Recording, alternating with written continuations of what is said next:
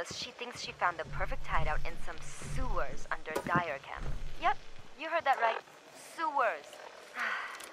I'm pretty sure that's a step down from just plain old swamp.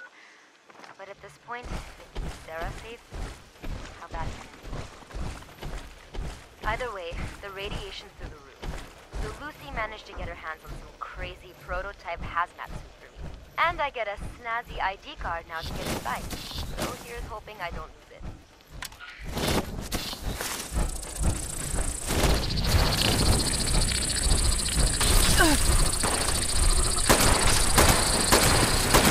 Ugh.